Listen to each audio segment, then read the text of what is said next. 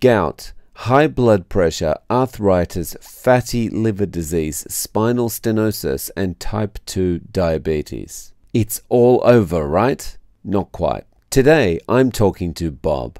He used to suffer from all of the conditions that I just mentioned. That was a year ago, and we're going to find out how he's going today. Just before we get started, do me a massive favor smash the like button and subscribe. It really helps out the channel, and I'm grateful for your support. Let's meet Bob. You've been on the carnivore diet for um, about a year now, is that correct? Uh, that's correct. I'm actually 15 days shy of my year mark right now, as of nice. this recording. How have things changed for you in the almost year that you've done it, and and how did you find the carnivore diet in the first place? What led you to it?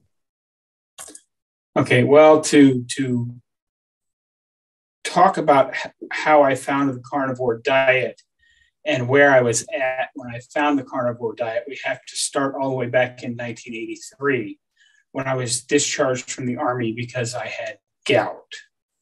Um, the, of course, the army doctor gave me a handout that told me how to deal with gout because gout is obviously a lifelong problem that's just going to get worse and worse and worse as you get older. And of course, it was the standard, basically standard Western diet eat lots of fruit and grains, whole grains. If you're going to eat meat, never ever eat red meat. Have you know a palm sized piece of chicken or pork or fish once or twice a week, and that's all. Um, and I believed his advice because when I found a non-service doctor when I got when they finished discharging me, he gave me basically the same advice. So I continued on following their advice.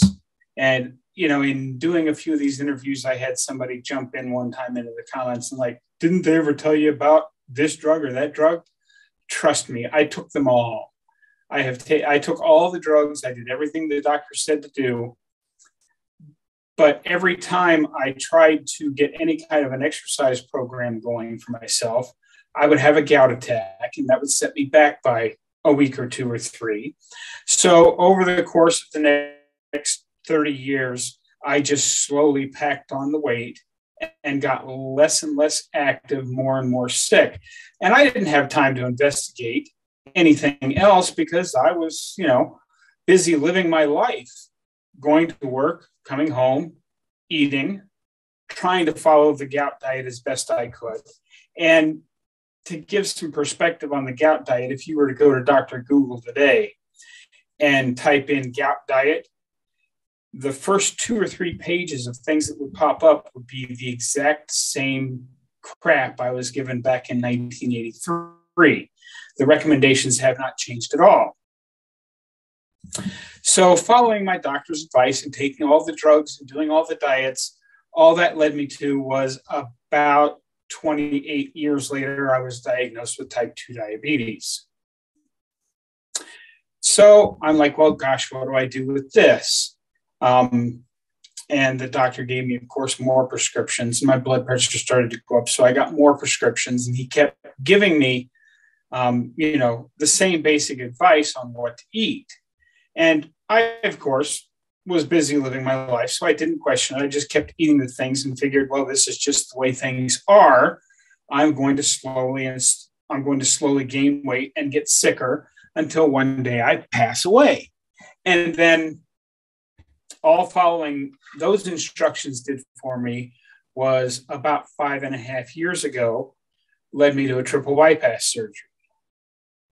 And when I got out of the hospital for that, they sent me to a thing called cardiac rehab, which is basically where they teach you what to eat and how to eat, plus how to do some exercises. Well, their idea of what to eat was exactly the same as what I had been eating all along.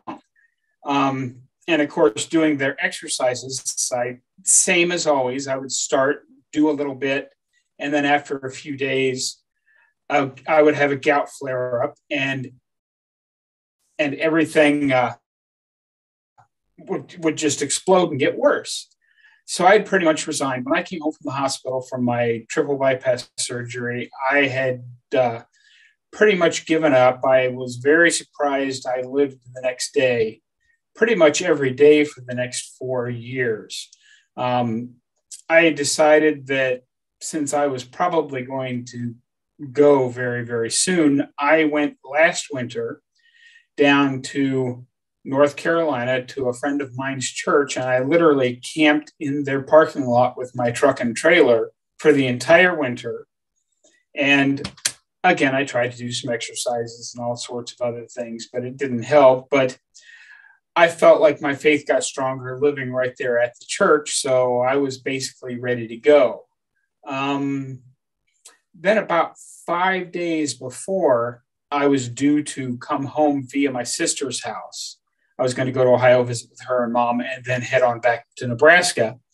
About five days before that, I was sitting there, and I have always been a um, travel and tourism, photography, van life, camping kind of a consumer on YouTube. So, how it popped up on my screen, I have no idea. But I loaded up YouTube, and right in the middle of my homepage was a diet by Dante Ferrigno. His channel is called Ferrigno's Freedom.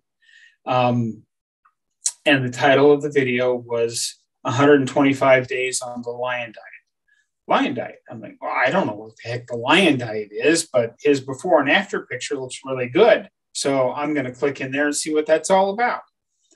So I clicked into it and uh, it didn't take me very long to realize, oh, this is just an extreme version of keto. And I can't do keto because I can't eat meat. I have gout. Um, but he had mentioned Dr. Berry in his video. I'm like, Dr. Berry, who the heck is that? So I searched for him on the interwebs and found Dr. Berry and discovered he was going live that night. I thought, well, I'm going to go watch his live and maybe get a question answered. Of course, I got there 15, 20 minutes early and there were already like 2,000 people in there. And I'm like, oh, I'm never going to get a question answered here. It's just not going to happen. But I dutifully, because that's why I was there, typed in my question Hi, I have gout, so I can't eat a lot of meat. Is there some version of this diet that I can do with gout? And um, if I had known it was going to be this successful, I would have written down who it was because, you know, he has moderators in his chat that are all very well informed on everything. And one of his moderators sent me a message back that said, Bob, gout does not is not caused by eating meat. Here's the link to one of Dr. Berry's videos on gout. And I'm like, what? Of course, meat causes gout. That's what I've known as fact for the last 40 years. But I decided to go watch the video. And so I didn't even stick around for the live chat. I went right over to his channel and started watching the gout diet and his his gout video. And then I noticed he had another one. And over the course of those two videos, he turned everything I knew as fact on its head. Things I had known as fact for 40 years. I mean, it's just the way things are. And I thought, well, you know, I feel like I'm going to die pretty much every day. So I've got nothing to lose at this point, so I'm going to give it a try. But I was getting ready to travel home, and I was going to stop at my sister's house for a week, and I didn't figure it was it was fair to call my sister up and say, "Hey, I'm changing my diet, so you have to feed me steak every day when I'm there." That didn't seem like a good plan to me. So I was traveling, and after all that was done, I had planned. I knew I was going to be traveling home on May the eighth. So on May the 9th is when I planned to start, the day before my 59th birthday. So I got home on May the 8th. I went grocery shopping. I threw everything away in the house, as Dr. Berry had suggested. I threw everything away that did not fit the plan and loaded up on carnivore foods.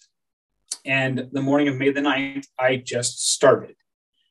And, you know, if I had known it was going to be this successful, I would have stepped on the scale before I started, but having being my age of almost 60 and being so sick for so long, I knew there was no way I was ever going to be able to lose weight. That was just a fact of life. All I was hoping for was that it would make me feel a little better and it would help my arthritis pain, which is really what I was looking for. Because when I started, I could barely stand for two to two and a half minutes at a time.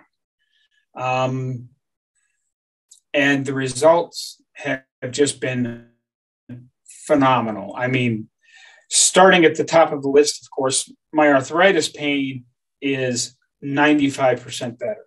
My spinal stenosis is 95% better. Um, my type 2 diabetes is gone.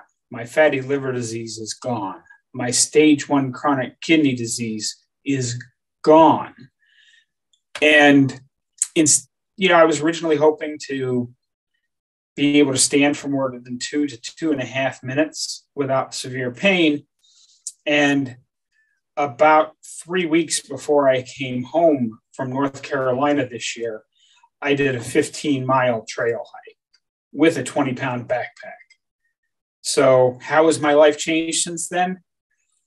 That's how my life has changed. In fact, I just I just put up a video today talking about, and I showed I actually went out and cut my own grass here at the house today. Yes, I'd say my life has changed a little bit, but it's not just the physical stuff, it's the mental stuff. I was having a discussion with a friend of mine.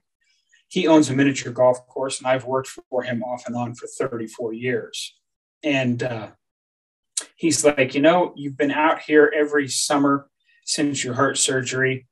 And I was always, you know, prepared to have to come to work because you had passed before it came time for your shift.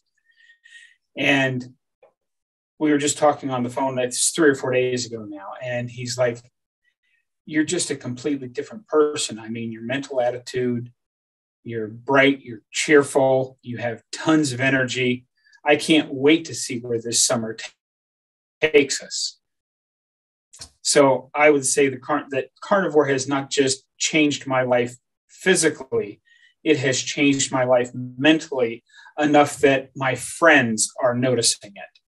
Yeah, that's uh, that. It, it's something that people can't uh, can't turn away from. You know, they can all say, "Oh, well, I've heard that." Uh, you know, red meat causes diabetes or red meat causes cancer or this, that, the other, but they can't deny the results that they can see in front of them, you know? Oh, absolutely. And, and I get it from, you know, several of my friends. You know, they said, oh, well, eating, eating all that red meat's bad for you. I said, well, you know, I've got my lab work here on the computer and I can pull it up on my phone. Would you like to pull yours up and we can compare numbers? They don't really want any part of that because my my lab numbers are much better than theirs all the way across the board. Right. Nice. I mean, that's a that's an impressive list. I'm just writing those down as you're talking about it. That's an impressive list of things that you've seen improvements with. Arthritis gone. Uh, arthritis much better, 95% better. Spinal stenosis yeah, I, 95% better. Type 2 diabetes gone. Fatty liver disease gone kidney uh, chronic kidney disease gone. That it's that's an impressive list. Yeah. Oh, and the thing that caused it all, I have not had a single gout attack since starting this way of eating. So I guess my doctors were probably wrong when they said that eating red meat aggravates gout because I have not had a single a single gout flare up since I started. Yeah. I, not, I mean, not one. I always think about that because that's the first thing everyone goes to is gout, you know. And I always think, well, maybe red meat, maybe, you know, the purines, there there is something that, you know, there's excess purines that call that can contribute to gout. But when you're not eating all the other things that contribute to gout, of which I understand from listening to Gary Fettke that fructose is one of the biggest things that contribute to gout um, then then the small amount that's coming from the red meat makes no difference at all. Yes. Um, to um, repeat what a mutual friend of ours that we both have talked to online several times now has hmm. said gout is an inflammatory disease. Uric acid, which is what they always blame gout on because it can form into uric acid crystals, which are these sharp, spiky things. but if you do not have the inflammatory process going on that causes those things to happen, uric acid is actually the body's number one antioxidant. We need uric acid in our system. And because mine was so high, that's probably why I had not died yet.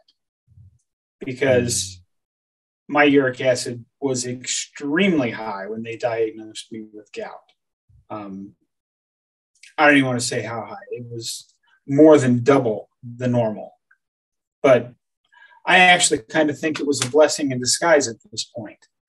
Well, you know, it uh, it certainly pointed you in the right direction, right? It's and it it it did, and you know, I'm still just an old retired truck driver, but I have learned so much in the last year because I have not. I did that those five days before I left the church and started traveling home. I basically spent every waking hour watching Dr. Berry videos and Professor Kay videos to try and get a handle on this thing I was about to do. And since then, I have watched who I consider all of the experts are, plus a few of them that are very inspirational. Like, you know, I hate to plug other people's channels here, but if you're not watching Kelly Hogan, you're missing out on some fantastic inspiration. And I have watched it all, and I have no degree in nutrition. I have no illusions that I can stand toe to toe with Professor Kay on intellect or knowledge, but I'd be willing to bet that I have more knowledge than 95% of the doctors out there in this country. And from what I've seen them spouting online, I probably know more than 99% of the nutritionists and dietitians out there about how to actually stay healthy. I feel there's also been a change in doctoring. So I guess you and I are about 10 years apart in age, right? Is that right? Yeah, I turned 60 in 15 days. Okay. So um, I remember as a kid when you went to the doctor, I'm, I'm, speaking about Australia, but when you went to the doctor, the doctor was actually interested in what was going on. And the doctor actually wanted to try and find out what was wrong and run tests and ask questions and understand your situation. But somewhere along the line, that changed and it became it turned into just a business is that Absolutely. your experience yeah i mean because i can go back to that first doctor not the the one from the army but the first civilian doctor that i got when i was discharged he had said because he offered me gout drugs at that at that time but he said if you start on these gout drugs you'll be taking them for the rest of your life i would prefer you try to stick to the gout diet first and see if that makes enough of a difference for you. And of course, that's that's the route I chose. Of course, it didn't make the difference because the gout diet has no chance of actually helping your gout. Um, but he was interested enough to not have me taking drugs. And now it seems like every doctor you go to they have their checklist of symptoms. And when you've checked all the right boxes, they hand you a prescription. And when you've checked all the boxes on the next page, they hand you another prescription, and so on and so on and so on. Even my cardiologist, after my uh, after my heart surgery, other than the the limited nutritional advice I got in the uh, in the hospital plus in the cardiac rehab, when I went to see him for my first follow up, he's like, okay, everything looks pretty good. They did a good job on your surgery. Um, just keep following their instructions, and I will see you back here every three months till one of us dies. and and that's that's just wow. the way medicine is practiced. Now, mm. since that time, come to find out, he's actually while he does not do keto himself, he understands keto and supports his patients who do keto. Mm. Um, he keeps saying that he's going to get on it because he's a really big guy, but uh, he never does. I think I think he likes his wife's cooking a bit too much. It's hard to uh, it, it, even if you even if you're determined to get on keto, it's when when you're uh, when you're married, it's it takes a lot of uh, a lot of negotiation and work and stuff just to extricate yourself from being able to like having to eat the same things at the same time as someone else, you know, as your partner. Yeah. So, yeah. Yeah. I, I can't speak to that. I've never been married. Yeah. So that was one of that was one of the biggest challenges for me. The, the actually the biggest challenge was convincing my boss and everyone I worked with to stop uh, stop almost demanding that they gave me food. But uh, you know, that then uh, then my wife was second. Um, all right. So right now, um, have you been able to? You said most of the um, most of the problems that you had are gone. Have you been able to give up most of your medications or all of your medications?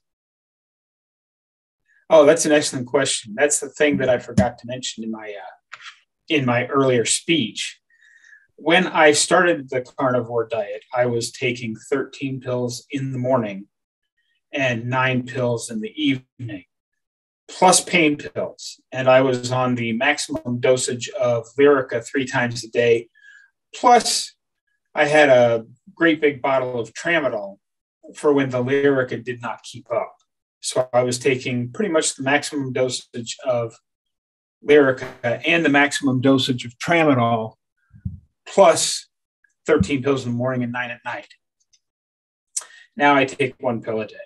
And I'm pretty sure I'm going to get rid of that one very, very soon. That one pill a day I take is the blood thinner that my cardiologist put me on. I saw him last fall before I left for the winter, and I asked him about that because all my other meds were gone by that point. But when I left for the year, I was only down about 80 pounds. So he said, Well, you're doing really good, but go ahead and take the, the blood thinner over this winter. And when I see you again in the spring, I'll run some more tests and we will revisit getting you off the blood thinners at that time. Mm. And I have to look at my calendar. I think my appointment for him is next week. Um, so hopefully I get off that blood thinner um, nice. very, very soon. And that's okay. the only pill I take. Nice. And so your blood pressure's your blood pressure's all good now too. Yeah, I was taking. I'm gonna while I tell you the first part of this story, I'm gonna go ahead and run a blood pressure on my watch here so that I can tell you what it is right now. But oh, nice prior I was I, I was taking three different blood pressure medicines. And even on three meds, it was averaging about 144 to 150 over 90 to 100, somewhere in that range. Um, so it was still not what I would call well controlled, even with three blood pressure medicines. And there it is. I'm currently sitting at 112 over 68 oh, on nice. no blood pressure medicines. Nice. Wow. Congratulations. It, it's just, you know, it, it just amazes me that this is a change that you can make over a period of less than a year. Yeah, it, you know? it is. It's, you know, if, if I had, I, I often wonder, I try not to dwell in the past, but I often wonder what would my life have been like if I had known how wrong the doctors and the science pertaining to gout was. I may not have actually had to have been discharged from the army, or even later than that. Just, you know, if I had known about this 25 years ago, how different would my life have been? Not, not having to deal with slowly getting crippled. But I try not to dwell on that because I have always said the sum of our choices and all of our life experiences build to make who we are today. And I actually kind of like who I am today. I've, you know, got this little YouTube channel and all I do is turn on the camera and talk to people while I take my walks outside. And there's quite a few people that seem to enjoy it. Um, and if, if I end up helping some people along the way, that's bonus. I, I literally just started to, as a way to keep my family informed on what was going on in my life. And everybody else started to, to tune in. And it's it's it's been an amazing ride. But I just I try not to dwell in the past. I try to stay in the moment, in the current, because what's done is done. There's nothing we can do about it yeah. now. So now we should just try to make the best of whatever time we have left and be the most positive person we can. Hopefully, leaving things a little better than when we found them. Yeah. I I I like the way you kind of look at it, like the the sum of all our experiences makes who we are. I think it's really important to kind of think, you know, uh, it's easy to fall into a trap of always thinking, oh, if this hadn't happened, if this hadn't happened. But, you know, actually, when I look at it in my life as well, the, there's a lot of bad things that happen to you over time. But I'm not sure I'd want to change anything because it makes you who you are. Absolutely.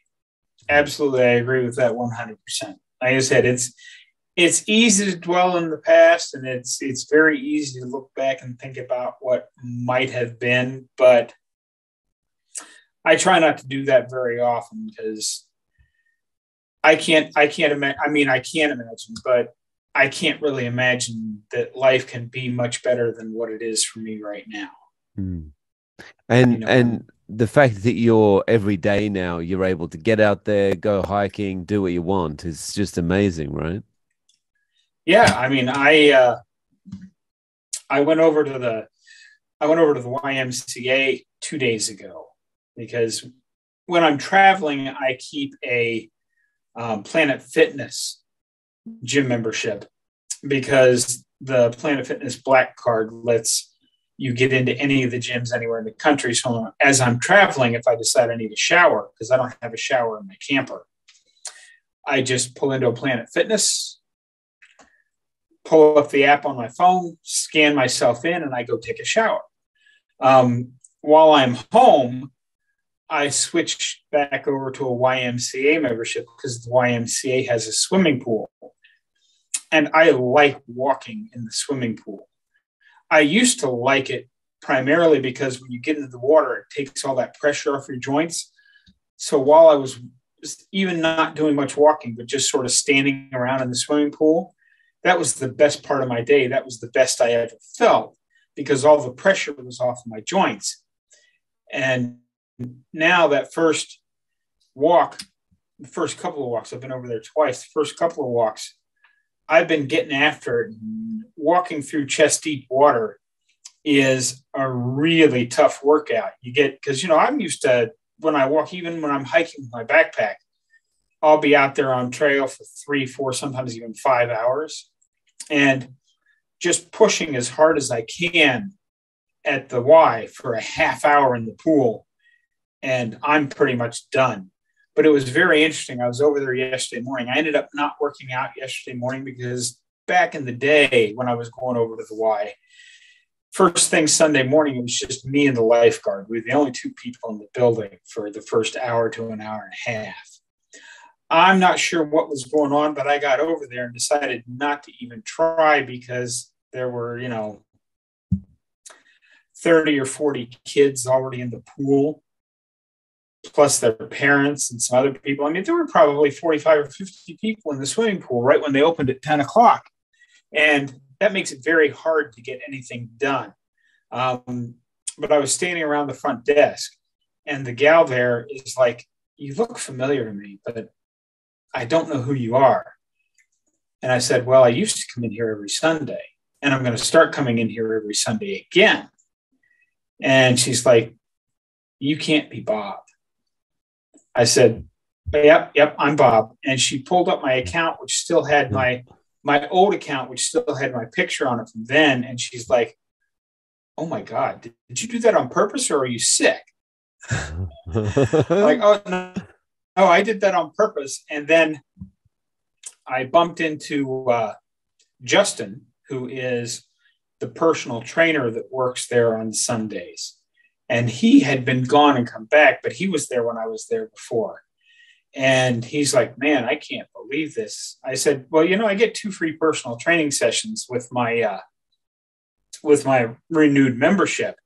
And he's like, Yes, you do. Just make an appointment. We'll get after it. I said, Well, before I do that, um, I said, What are your thoughts on cardio and zone two training? And he's like, That's the dumbest thing in the history of the world. And I'm like, I found a guy who, at least if he doesn't know who Bart Kay is, will get the seal of approval from Professor Kay. So I can work with this guy.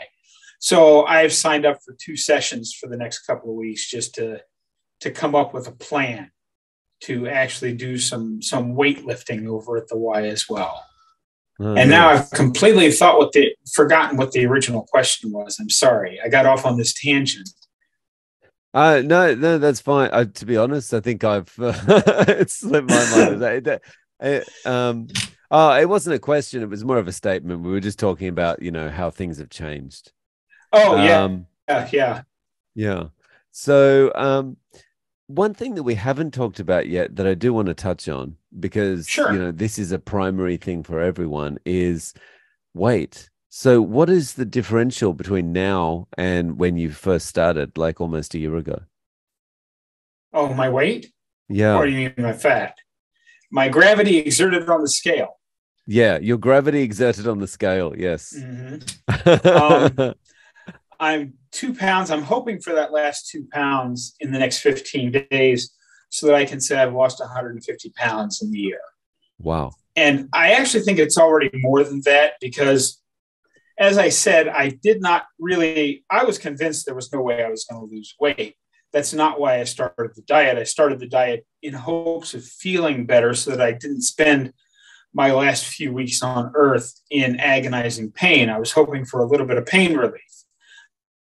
Um, but I was still, you know, when I started, I was still convinced that I'm going to do this for a few weeks. And then one morning, I'm just not going to wake up. But if I can have a little bit less pain, that would be good. So I did not step on the scale for the first two weeks. So when I stepped on the scale, because after the first two weeks, I noticed that my hands didn't hurt nearly as much as they used to. It's like, hey, I think I think this is actually helping my arthritis. And then as I'm sitting there, I noticed that my pants were a little looser than they'd been. It's like, you know, I, I should probably go step on the scale. So at that time, two weeks into it, is I weighed 315. And since that's the first time I stepped on the scale since starting this diet, I have to say that I started at 315, which right now puts me at 148 pounds down. I if I never lose another pound, I'll be happy. But I think I still have 15 or 20 to lose. And I'd like to get the the last two off to be 150 purely from a I'm a YouTuber at heart standpoint because a thumbnail that says how I lost 150 pounds in a year just sounds much cleaner and nicer than how I lost 148 pounds in a year. Uh, true, true, true. Um, yeah. Um, yeah, that's so you started so when did you say May what was it?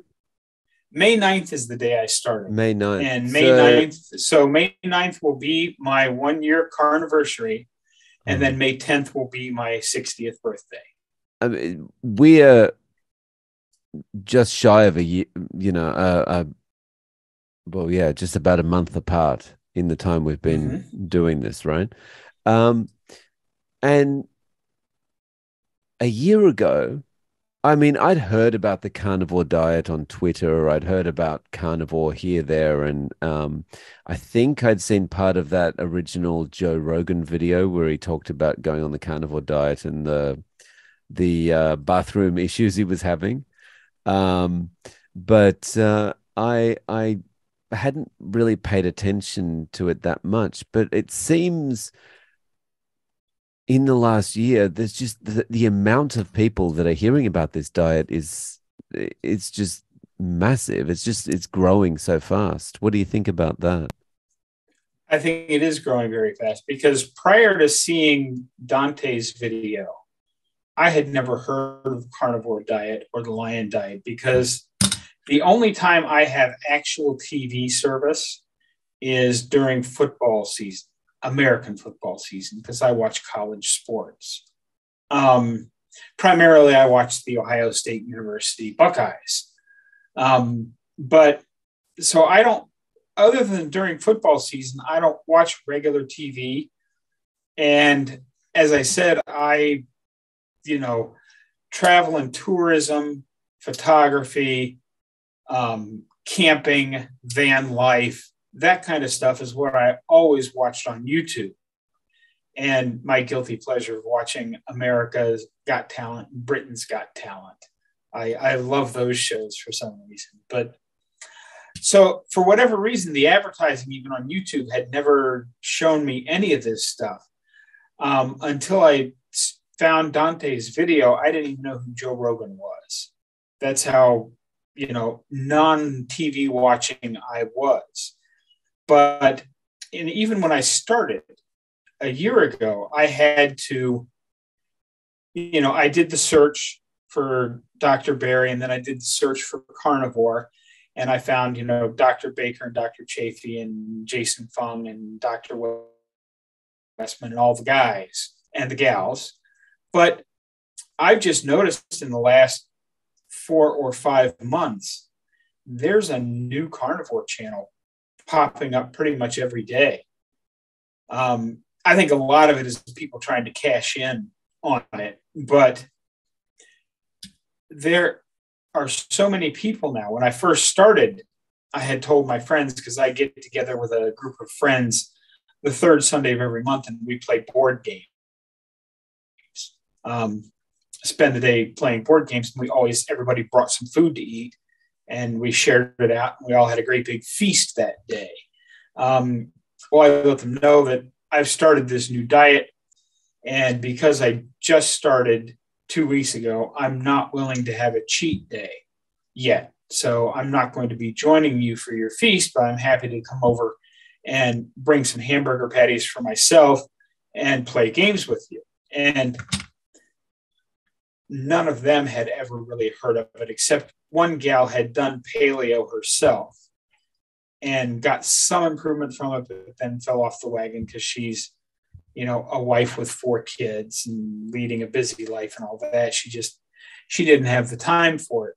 And now I think everybody has heard of either paleo or keto or carnivore. And there's even because of um, Jordan and Mikhaila Peterson, there's a lot of people out there that have heard about the lion diet, even.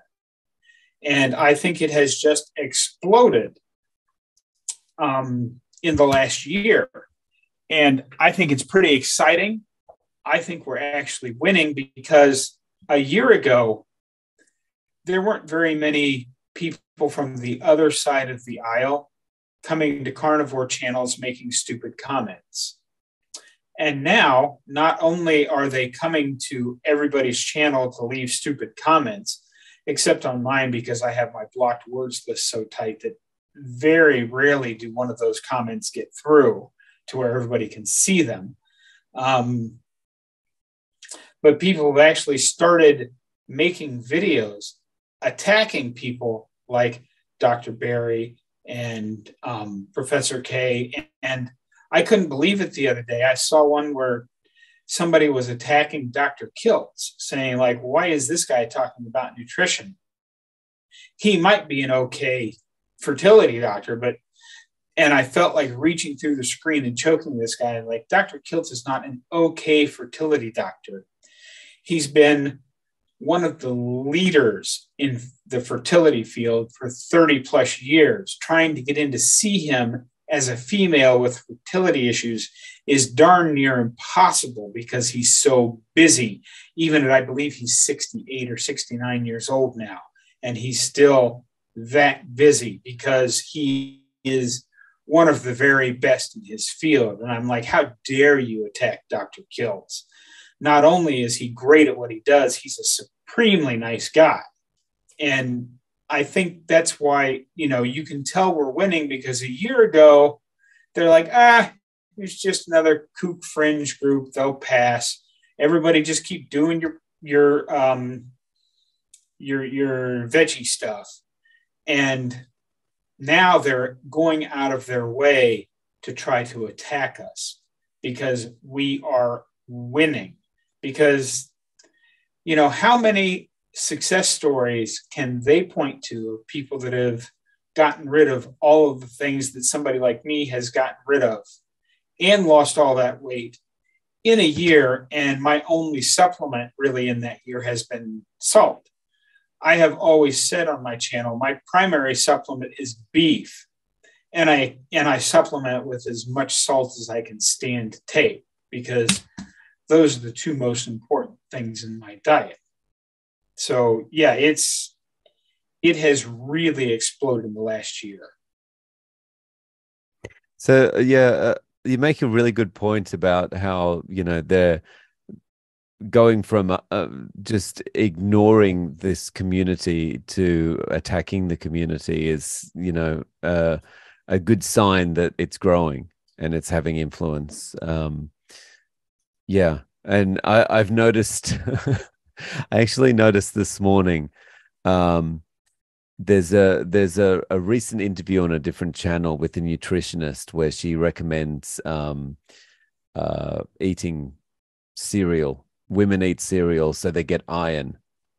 And um, like there's a lot I know of which people, video you're talking about. Yeah. I saw that. That's there, there's a lot of people commenting on that video now. Now that they've noticed how ridiculous that comment is, there's a lot of people commenting and saying this is this is crazy. How can she recommend breakfast cereal? Blah blah blah. And someone replied, obviously, someone who's very, uh, you know, uh, pro plant based, replied to one of those comments on the channel today and said something like, um, well, who are you going to listen to?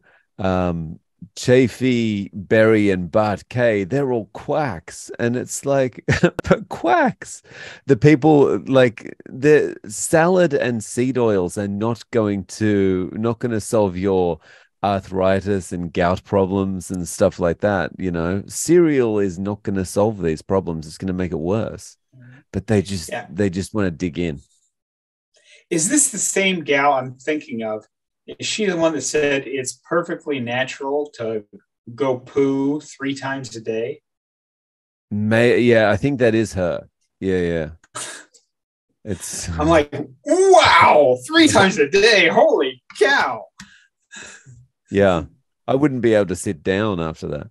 But um so I would so, I would need I would I would need to start buying chocolate ice cream again, not to eat, but to take a scoop of it and and you know cool things off. so what what is your what what is your a regular day of eating like for you now? Um well, I can tell you like just today I have already eaten because I usually eat about 5 but I I wanted to make sure I was done eating before you and I got together. So I ate a little early today um, because I had cooked a, uh, a 10 pound standing rib roast on Sunday. I still had some two inch thick ribeye steaks in the fridge. And pre, because I cooked it medium rare so that I could then throw it in the cast iron and scorch it up on both sides and still have a medium to medium rare steak on the inside. Um, I weighed the one out today just because I was curious how big I'd cut them. And it was just a little bit under two pounds. So I had a just under two pound ribeye, and I knew that wasn't going to quite be enough. So I had just under a two pound ribeye and five fried eggs. And that's what I ate and that's that's the whole that's everything I've eaten today and everything I'm going to eat today. Um, yesterday is sort of a joke. I don't know if you've been if you follow very many other YouTube channels, but for some reason it seems like smash burgers have been the trend on a lot of people's channels over the last week or so. You know, everybody everybody was making smash burgers. I mean, they just they were showing you this is how I make my smash burgers. And I mean, it was all over the people that I follow. So I thought, well, okay, I'm going to make a smash burger Bob style. So I got out two pounds of ground beef, thawed it out, and smashed it down in so that it filled, it literally filled my um, 12 and a half inch cast iron skillet. So I made one big smash burger. I made I made one two pound hamburger right. in my cast iron skillet, and I actually managed to get it flipped without breaking it. It did break apart a little bit as I was getting it out of the skillet to put on my cutting board, but it came together well enough so that after I poured the grease over it, took a picture of it, which you'll find on a few places. I actually, you know, there's a big two pound burger, and I call it the smash burger Bob style. nice. Because I've known people that follow me know that I eat a lot, even for a even for a carnivore, I eat a lot. I average between two and two and a half pounds of meat a day. And if the meat is small, like it's only a pound and three quarters to two pounds, I generally will have anywhere from five to eight eggs with that. And sometimes I'll cut up butter to put on top of it to add some fat. Um, I have recently discovered lard again. I love cooking in lard, which helps up the fat content even more.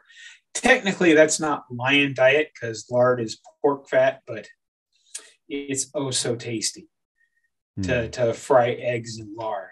Fried in butter is good, but fried eggs in lard is one step above that, maybe mm. even two steps. Fantastic. Nice. But that's what that's what I eat today. Once so, once a day. I've been doing one meal a day for about seven months or so, maybe eight. I can't tell you exactly when I started one meal a day because I originally started at three meals a day and very quickly cut it down to two. And then it was a couple, three months into it, somewhere in there, I just didn't get hungry and I skipped an entire day without even realizing I'd skipped eating that day. So then I'm like, well, my body must think it's time. Let me try this one meal a day thing and see how I feel. And I've never looked back. It just, I feel the best when I eat once a day, a big meal, so that I get all of the good things that come from eating a big meal. As Professor Kay explains, you don't want to be flat line on your insulin the whole time because that can cause problems. You do want to have one large bolus of protein at least once a day so you get that little bit of a bump in your insulin and that keeps everything working properly. These people that eat a couple of small meals a day and never actually get uh, any kind of an insulin spike. If you're still trying to heal, that's not such a bad thing, but for the long term, that can be very bad for your health. Mm. So I like the one meal a day thing. It makes the most sense for me and how I like to live my life. And there's something satisfying about sitting down and having, you know, a two and a half pound roast on my cutting board. And I know I'm going to smash very close to the whole thing. I love the one meal a day thing. Um, you know, also because I, I kind of look forward to that meal. Like I have my meal at breakfast. I look forward to that. But it's just the time savings and the and the productivity gains you get from it, you know? Mm-hmm. It's great. Yeah, and I mean it's not just the the time savings because you're only sitting down to eat once. Grocery shopping is easier. Um, you don't have all that time spent cooking because you know ever since I was diagnosed with diabetes 10 and a half 12 years ago. I don't remember exactly when it was. I've been cooking 95% of my meals at home because it's just easier. Um, so I very rarely eat out. So, you know, planning three meals a day, shopping for three meals a day, cooking three meals a day took up an awful lot of my time, even on those days when I bought one of those cheap, disgusting frozen pizzas that you get at the grocery store for a couple of dollars because it's big and it's cheap, and then you throw a little of your own pepperoni, a little of your own cheese on it, and you've got a fairly decent meal for two dollars for the pizza at the store plus 75 cents worth of added on ingredients. But there's still there's a lot of planning and time and effort in all of that. Um, and i have a lot more time for doing whatever i want since i only have to and i don't really have to think about it. I mean if i've got a steak or hamburger thawed out it goes in the cast iron if i forgot to get something out I take a, a, frozen steak and throw it in the air fryer for 15 minutes. No thought involved in cooking anymore, and no thought mm. involved in shopping. I walk into the store, I go straight to where they keep the eggs, and then I go over to the meat discount section. And if there's nothing worth having in the meat discount section, I back up to the beef section. I'm in and out of the store in 10 minutes. Yeah, it's awesome, right? It is. It's great. Yeah. I had, I don't have to spend any time shopping. I I I think actually I I must have uh, a bit of a reputation at our local supermarket, right? Because there's I I'm there. There's not many foreigners around where I live, and basically, you know, um, if you're a foreigner in Japan, you pretty much stand out because you're taller and you just you're more noticeable. And uh, so I must be like they must be thinking this guy comes in here every evening about nine thirty at night and buys you know two packs of ground beef and two two boxes of eggs and all this kind of thing. He never buys any vegetables. What's going on? mm-hmm. yeah, yeah, and uh, I don't get my my butchers never even questioned me. I asked them to save me out uh, some beef fat and they're like, well, how much do you want? Because we're trimming steaks every day back there. I'm like, well, it's just five pounds. I think you can do that. And they're like, sure, come back tomorrow. I'll have five pounds of beef, beef fat for you. And I still have two and a half pounds of it in the freezer. And they didn't charge me anything for it. They're just like, here, we were just going to throw this away. I'm like, that's awesome. I like that. Yeah. And and I don't get any questions because the I've always gone to the same grocery store. Um, the girl that's always out stocking the shelves when I go by, she kind of saw me and and did one of those triple takes, like, is that really Bob? and the the little old lady that because I go in early in the morning, the little old lady who I forget exactly how old she is. She's somewhere between 80 and 90 years old. I forget exactly how old she is, but she checks, she runs the check stand in the mornings. And she doesn't question because, you know, she's like, Aren't you going to get anything besides meat today? I'm like, Nope, that's all I eat. She's like, Well, it must be working for you because you've lost a ton of weight since last time I saw you. Yeah. And nice. I like it. Yeah. Nice. Um, so Bob, is there is there anything else that you wanted to share while we're together? Anything that you think is important for people to know about carnivore or about your journey in particular? Um, well, the first thing I would say is don't do it the way I did it. I jumped right in. I was standard American diet on May the 8th, and then I was carnivore on May the 9th. And I'm proud to report that I spent my 59th birthday in the bathroom.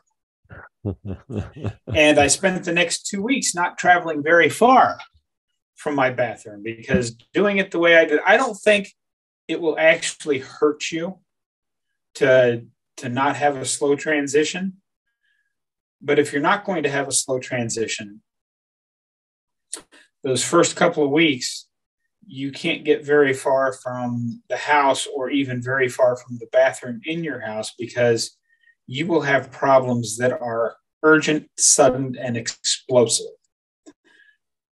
So, I highly recommend that you do a slow transition to this diet over the course of six to eight weeks. Um, I don't recommend you do it the way I did, did it. Um, the next thing that I would like to tell people is I just talked about this a few days ago. One of the most important vitamins that you have to make sure you're getting enough of when you're on this diet is vitamin P. Vitamin P stands for patience. Everybody is different. Don't look at me and say, wow, Bob lost 150 pounds in a year. I'm going to jump right into this. The weight's just going to start falling off. Well, it may or it may not. I reference Kelly Hogan many times. You know, if you look at her story, she spent the first six months gaining weight because her body needed to heal because she was so lacking in essential nutrients to make her body run properly that her body's basically like, oh boy, look at all this stuff. Let's fix stuff because we got stuff to do with now. Um, so she spent the first six months gaining weight. Then after that, the weight just fell off of her and she looks fantastic now. She's not quite our age, but she looks like she's maybe 25 years old. Um, she looks fantastic. So have vitamin P, have patience because we don't get to choose. Well, I'm starting this because I want to get make my arthritis feel better. Well, if your body decides that you need to lose 20 pounds before your arthritis gets better, that's what it's going to do. Or vice versa. We have no control over what our body is going to fix first. So have patience and also have confidence that this journey will work for 99.9% of the people out there if you are doing it correctly. And if you're one of the 0.1% that it does not work for, if you're doing it correctly, I recommend you get professional help. Um, you and I both talked to Professor Kay. He does consulting. And there are many others out there. If Professor Kay is not your cup of tea, I would get professional advice, but give it time.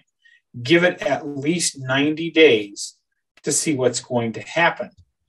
Um, because the worst thing you can do is try it for 15 to 25 days and say, oh, well, this isn't working at all for me, and go back to eating the standard American diet. Because you know, as I now know from 40 years of getting sicker and sicker and sicker, that the standard American diet is going to do nothing for you except make you sicker and sicker. And I don't care if you're carnivore or keto or ketovore or low carb, or you could even be at the far end of the spectrum and start off with a vegan diet. As long as you understand that the vegan diet is not a long term sustainable diet unless you have a pail full of supplements to take with it on a daily basis. I prefer not to take a bucket full of supplements. Um, and I still think supplements are not as bioavailable. So you're going to run into problems down the road. But I don't mind those people because they are at least thinking about nutrition. But whatever whatever diet you're going to do, my best advice is pick the one that you think you can stick with that has proper nutrition and is within the proper human diet spectrum. Because, yes, you and I could probably both stick to the all Oreo and ice cream diet. However, that's not going to be beneficial for us long term. So, when I say pick the diet you can stick with, I'm not talking about the Oreo and ice cream diet. I'm talking about something within the proper human diet spectrum. And just trust that it's going to work, stick with it, don't give up. And one of the things that I found have found amazing in this community is the community. All of the carnivores and keto people out there are always happy to talk with you which is unusual for me because I've always been single. I've always been kind of a loner. I mean, I was an over the road truck driver for 25 plus years. I spent a lot of time by myself on the road, and that's the way I like it. But having somebody to talk to, even if it's just, man, I'm feeling that pizza urge today. I need to talk, I need somebody to talk me down off the ledge of going to go get a pizza. Finding your community is really important on this journey. Um, and I think that's that's probably my top pieces of advice for people trying to to do this way of eating. That's that, that's really uh, really good advice. Um, Well, um, Bob, if people want to reach out to you, people want to check out your channel, how can they get in contact? It's it's really easy, and I'm assuming you're going to put that down there on the bottom of the screen somewhere. I'm at semi-retired Bob. That will find me on YouTube. Semi-retired Bob will find my private Facebook group that you have to fill out a little three-question questionnaire to get in. Um, if you want to send me questions directly, my email is semi retired Bob at yahoo.com. Um, I have an Instagram that I believe is semi-retired Bob. I don't do much with it. I occasionally post food pictures up there. Um, and I have a Twitter that I'm not even sure. I don't think I log in but once a week or so. And that is semi underscore Bob for some reason it didn't like semi-retired Bob. So, but I'm semi-retired Bob everywhere else. My primary focus is on my YouTube channel. Um, I put out content almost every day. Um, most of those videos are walking and talking, where basically I just go for my daily walk and talk to the camera. I have started doing some interviews, as you well know. I just posted up my first interview, and it was with you, and it's gotten pretty good response. So I'm going to do more. Um, but yeah, that's where you can find me. No worries. Of course, I'll link to them below. And um, guys, you really, uh, you really should check out Bob's channel. Really interesting content, and um, you know, it's great to be able to follow his journey. Bob, thank you very much for sharing with us today. Oh, thanks for having me, Dave. This has been fun. Um, we should do it again sometime. Maybe get yeah. together and have a uh, uh, a live question and answer session with both of our groups at some point. But that sounds awesome. Yeah, this has been great. Thanks for having me, Dave. I've really enjoyed myself. Guys, thanks for watching. Please don't forget to click like and subscribe, and I'm looking forward to seeing you in the next video.